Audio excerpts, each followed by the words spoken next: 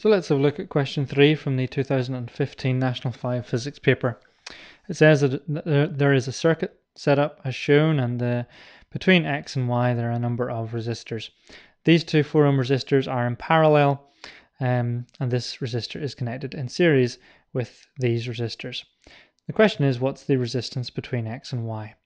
So effectively what we have um, is actually between X we have a resistor um, which is 4 ohms, and we have another resistor, which is effectively, um, this is why, the combination of these two resistors here in parallel.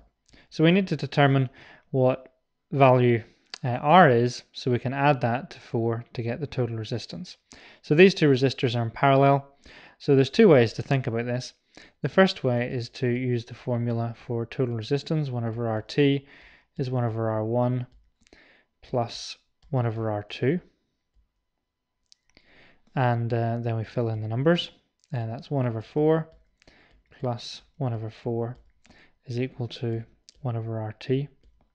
1 over 4 plus 1 over 4 is equal to 2 over 4, which is equivalent to 1 over 2. And so therefore 1 over um, rt is equal to a half. So therefore if we flip it over, say RT over 1 has to equal 2 over 1. So all I've done there is I've moved the RT to the top, brought the 1 down below, and I've done the same with this side.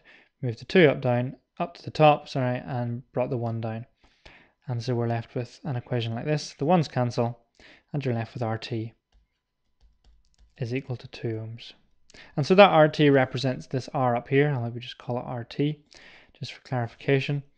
And so now we've got um, in series a 2 ohm resistor and a 4 ohm resistor. And so our total resistance is 6 ohms. And so the answer has to be C. Now I did say that there was another alternative uh, way of thinking about this, and that is if you have two resistors in parallel and both resistors are exactly the same size as they are here, they're both 4, then the total resistance of that branch is half um, one of them, which is 2 ohms, which is what we've already discovered. So this is 2, that's 4, giving us 6.